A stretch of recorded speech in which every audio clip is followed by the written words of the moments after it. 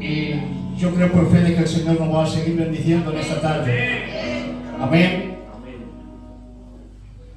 Yo venía para casa, alabado sea el Señor, o sea, para el culto, salía de mi casa. Amén. Y conforme salía de mi casa le decía a mi compañera y a mis hijas, me he la Biblia. Y me decía mi ser, pero vas a predicar tú. Digo, no creo. Digo, bueno, pues déjala. Amén. Y bueno, cuando entraba aquí, pues el pastor me decía que trajera la palabra. Pero yo siempre me traigo una chuleta. Por si es caso. Amén. Y bueno, todos los días, alabado sea el Señor, y cada día que venimos aquí, pues predicamos la palabra del Señor, los siervos. Y traemos palabra de exhortación, de edificación, de consolación, de ánimo. Amén. Pero hoy el Señor quiere que, que podamos escuchar hoy una palabra doctrinal. Amén. Una palabra de doctrina. Donde el Señor nos va a bendecir porque a mí me ha bendecido. Así que vamos a cerrar los ojos un momento. Y ustedes van a orar para mí, para que el Señor anule mi persona, mi yo personal, aleluya, y que sea el Espíritu Santo el que transmita la palabra hoy en esta tarde. Amén. Porque necesitamos palabra del cielo. Aleluya. Te amo, Señor. Tú eres grande. Tú eres Dios gloria. Mi hermano Ramón, el de atrás del todo, me presenta al Señor. Ven, amén.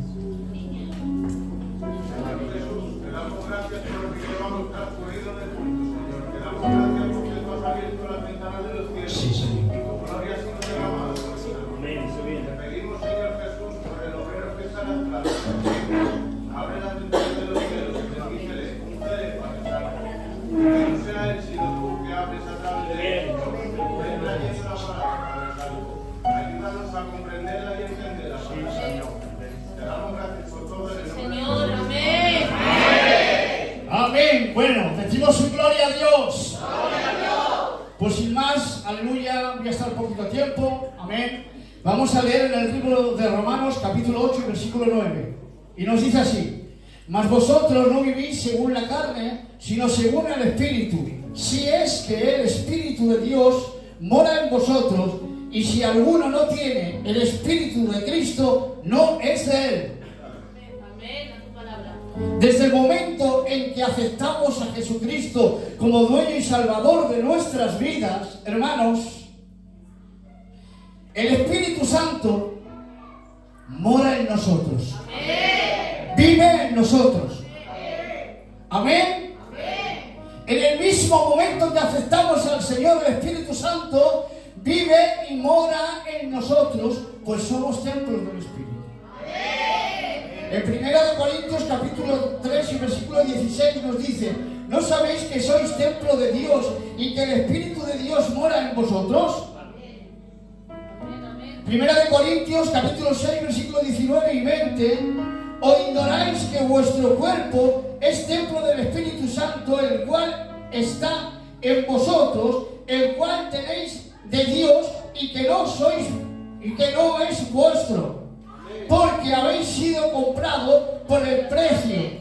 Aleluya, glorificad pues a Dios en vuestro cuerpo y en vuestro espíritu, los cuales son de capítulo 1, versículo 13 y 14.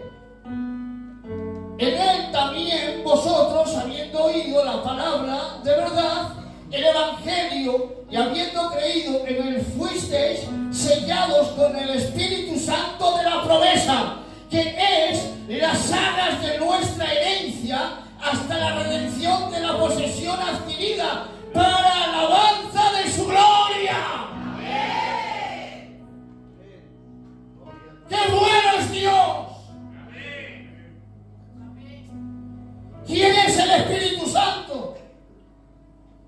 a través de toda la Biblia, el Espíritu, alabado sea el Señor, se revela como persona con individualidad propia, como persona divina, como el Padre y como el Hijo. De modo que nunca se puede pensar que el Espíritu Santo es solo un poder o una influencia. Él tiene características personales, porque Él piensa, Romanos 8:27, porque Él siente, Romanos 15:30, porque Él tiene voluntad, Primera de Corintios capítulo 12, versículo 11, y tiene la capacidad de amar, de disfrutar del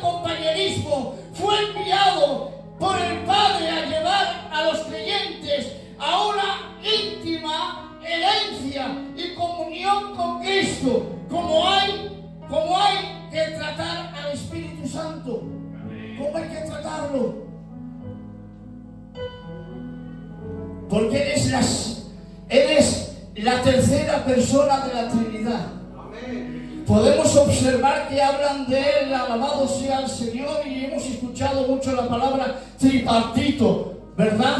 ¿Por qué es, tripartito? Porque es una sola persona, pero se divide en tres. Es decir, el Padre, el Hijo y el Espíritu Santo es el mismo.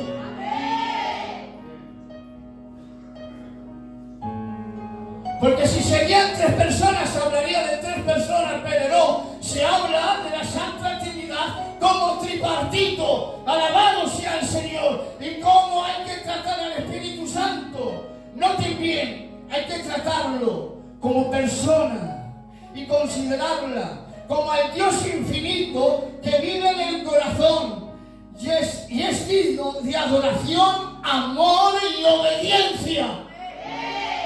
¿Han notado bien, verdad? El Espíritu Santo es una persona la cual mora dentro de nuestro corazón. Pues nosotros somos el templo del Espíritu. Y cuando Él está en nosotros, hermanos, todo va bien. Cuando hacemos algo que no está, que no está bien delante del Señor, hay alguien que redarguye nuestro corazón y nos hace recapacitar sobre las cosas. Y eso es el Espíritu Santo que está en tu vida. Que no te deja hacer lo malo. Que te impide de hacer lo malo. Pero claro, al Espíritu Santo hay que alimentarlo. Hay que cuidarlo. Hay que animarlo. Porque mora en nosotros. Cuando nosotros compramos una casa, o hemos entrado en una casa, o hemos adquirido una casa, lo primero que hacemos es ver en qué estado se encuentra, sí o no. Miramos en qué estado se encuentra y que vemos que está vacía, que vemos que necesita arreglo de paredes. ¿Qué hacemos? Las raseamos. ¿Qué hacemos? Necesita ventanas. Rápidamente compramos ventanas y las ponemos y acondicionamos la casa, ¿verdad que sí? ¿Verdad que sí? Porque es nuestro hogar, es donde nosotros vamos a vivir. Pero cuando entramos en ella, hemos entrado, le hemos arreglado, pero hemos notado que falta algo. ¿Qué es lo que falta?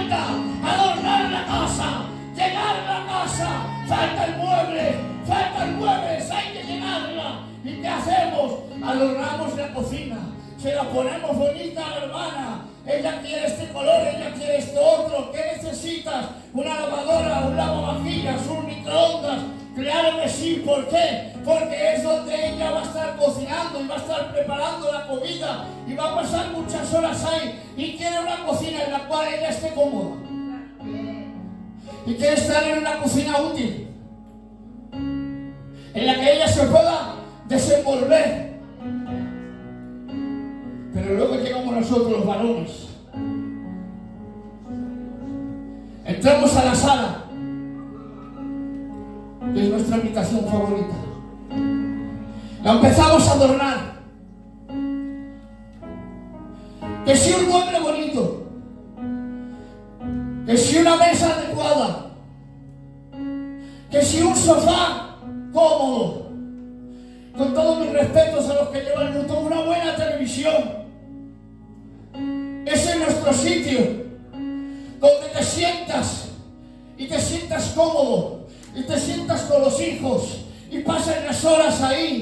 Alabado sea el Señor, pero primeramente la condición es para estar cómodo, ¿sí o no? ¿Cómo tienes tú la casa del Espíritu? ¿La has arreglado? ¿Le has acondicionado para que el espíritu esté cómodo? ¿O el espíritu no puede estar porque no tiene comodidades?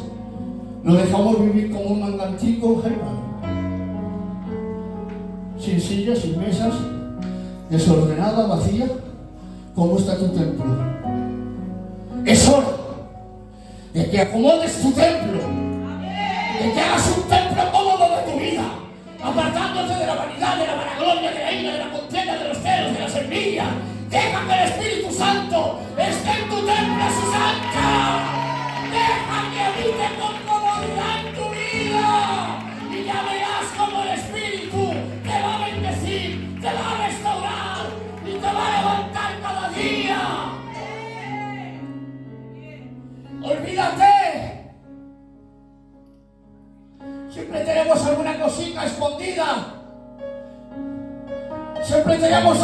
secreto. Eres templo del Espíritu. Compórtate como tal. Venimos a este lugar muchas veces por rutina, porque ya hemos adquirido una rutina de estar a las 7 de la tarde en el culto. Venimos a este lugar a ocupar un asiento. Venimos a este lugar porque no tenemos que ir, a- no podemos ir, o no sabemos ir a otro lugar. Pero te digo eso cambia en tu vida. Vente aquí a recibir al Padre. Vente aquí a salvar tu alma.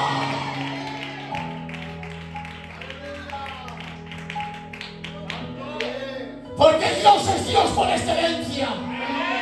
Y a Él no hay nadie que se la dé. Si es a nosotros que hemos adquirido tanta profesionalidad que ya puedes venir con la carita de santo y venir a darme la mano como desmayado. Que no, que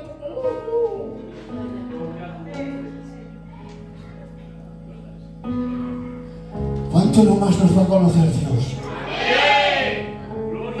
el creador de la vida. ¿Cuándo más nos va a conocer Él? Tú cuando te entregas al Señor Él rápidamente, ay Padre, Él rápidamente. Dice la palabra, venid tal como sois. Venimos desordenados, sucios, de mala manera. Nos entregamos al Señor y el Espíritu Santo no tiene ningún reparo en habitar en tu templo. Pero hombre, vamos a darle comodidades. Vamos a quitarle lo nuestro. Vamos a dejar que Él more en nosotros con comodidad.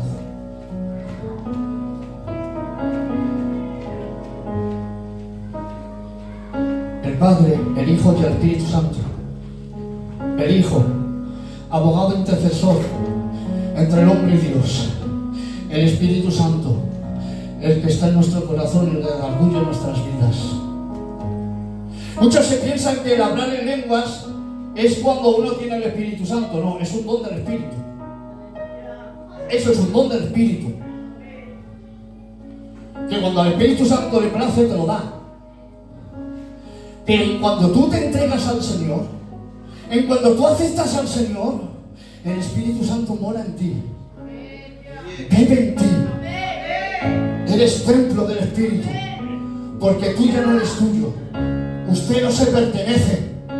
No se pertenece porque ha sido comprado con la bendita sangre de Jesucristo.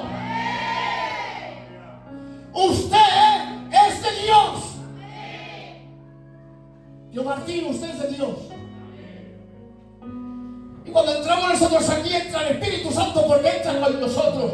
Ahora nosotros tenemos que animarlo, dale libertad. No vengas aquí a que canten alabanza y, que, el coro es una bendición, canta alabanza y, transmite la alabanza y llega la alabanza y nos emocionamos porque son fieles cantando y no hay que nos aguante. Pero si tú no pones de tu parte, el Espíritu Santo no se mueve en tu persona.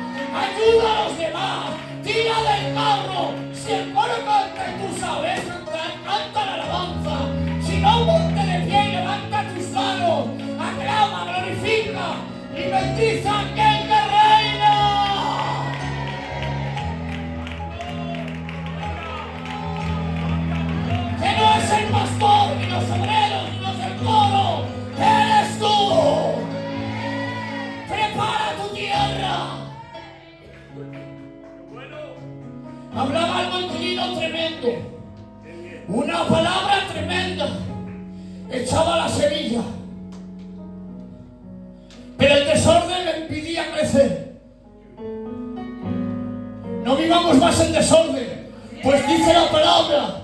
Y en el desorden. Dios no mora.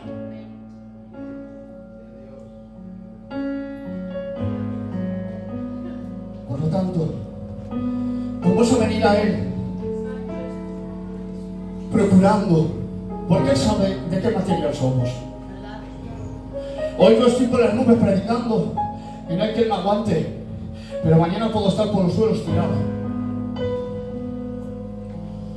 Porque somos una materia muy endeble. El hombre de acero eso era Superman. Y mira lo que le pasó, se cayó del caballo.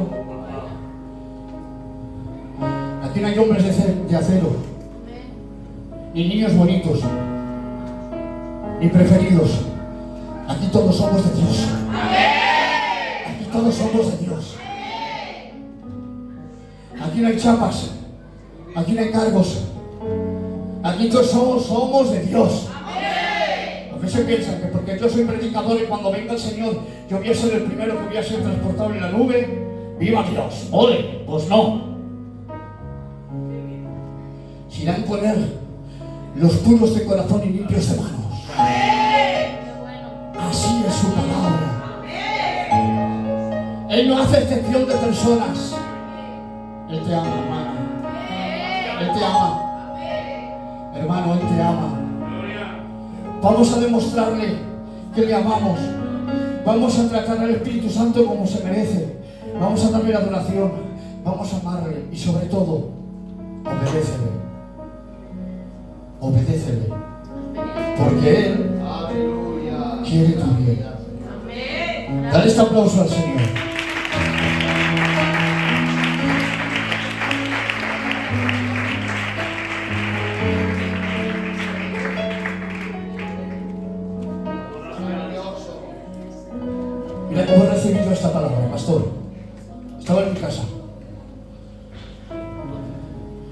Y yo no vivo en una casa, vivo en una chabola. Porque da pena la casa.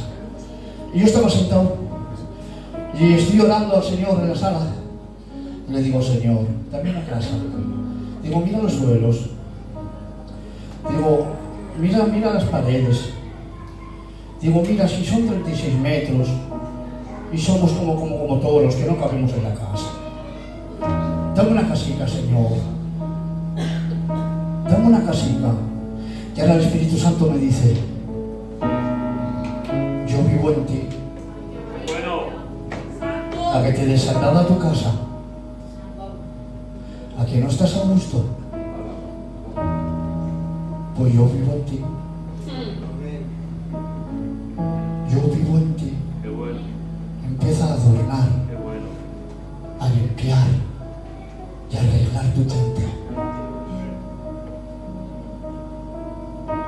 Través de eso recibí esta palabra y salí llorando, quebrantado. Dije, qué verdad es, Señor. Tanto que te pedimos, que eres más que Cáritas, hijico. Más que la envidia. ¿En qué te damos? La hora del culto. ¿Qué le damos la hora del culto? Pues bueno, es más por el culto.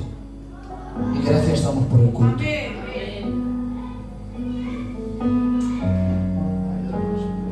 Un lugar el cual el Señor nos lo ha regalado para que cada día podamos estar juntos y escuchar la palabra del Señor. Hoy decía el pastor, hermana joven, si no has tenido tiempo de orar, pues disfruta del culto ya que has venido, disfruta. Si casi que no has podido, pues disfruta del culto. Adora mi alma. Si es que muchas veces venimos al culto y disfrutamos de él. Abrimos los ojos como búhos. A ver quién se mueve, quién canta, quién no canta. Cierra tus ojos. Adora al Señor. Busca al Espíritu. Y Dios te va a bendecir. Hasta aquí, no tengo más. Que Dios bendiga.